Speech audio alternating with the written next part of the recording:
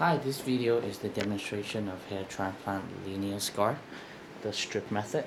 Uh, as you know, I'm trying to video as much of uh, the FUT and the FUE scar. Uh, so this is the demonstration of the FUT scar. The FUT is the one with the linear scar. Um, and so we're running from one ear to another ear. Um, the FUT is uh, an older technique than the FUE.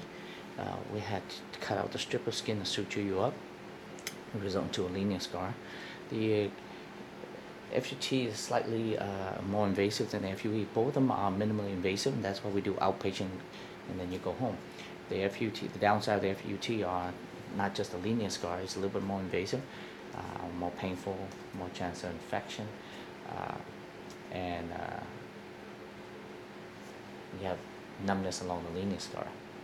But those are again, they they're not that much of a different. Uh, but the down, uh, but the good side of the FUT is, more, uh, is cheaper, and um, it's quite significant cheaper, and it grows uh, five to ten percent better density than the FUE.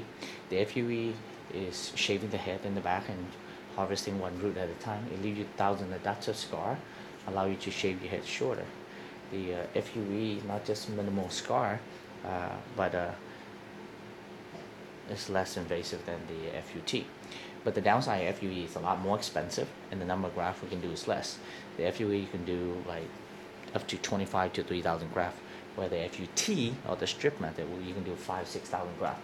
So the FUT or the strip method is more for advanced hair loss, or or someone who are at the best price and the better density. I mean again, five to ten percent.